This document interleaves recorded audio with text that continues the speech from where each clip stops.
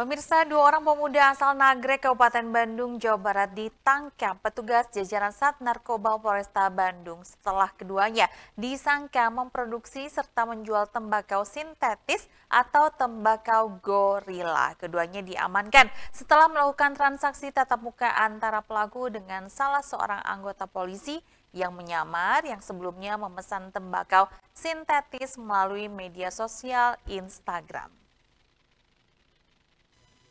Inilah video amatir yang direkam oleh petugas kepolisian dari Satuan Narkoba Polresta Bandung saat mereka melakukan penangkapan terhadap dua tersangka berinisial AY dan APS di sebuah rumah kontrakan di Desa Bojong, Kecamatan Nagreg, Kabupaten Bandung, Provinsi Jawa Barat, Kamis malam lalu.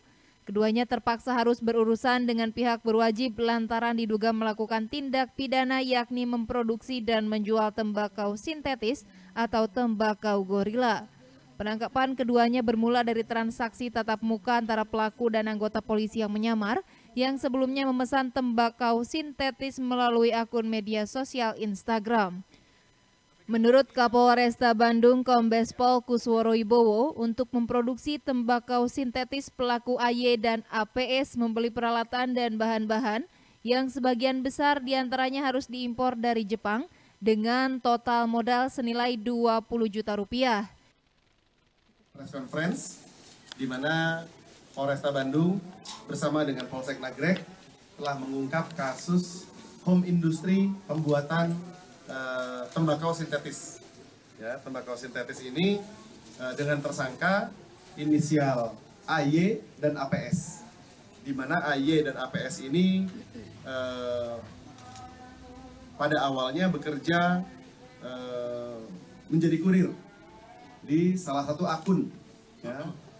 Sebelum dia sebagai kurir, pertama-tama tiga bulan sebelumnya mengkonsumsi terlebih dahulu uh, barang-barang narkotika dari salah satu akun yang saat ini sedang kami lakukan lidik pengembangan.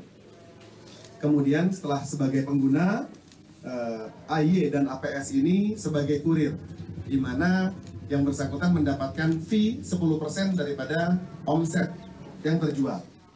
Guna mempertanggungjawabkan perbuatannya, kedua pelaku kini harus mendekam di sel tahanan Mapolresta Bandung dan akan dijerat dengan Undang-Undang Nomor 35 Tahun 2009, Pasal 114 dan 112 KUH Pidana tentang penyalahgunaan narkotika golongan 1 dengan ancaman hukuman paling lama 20 tahun penjara dan denda paling banyak 10 miliar rupiah. Rezitia Prasaja, Bandung TV.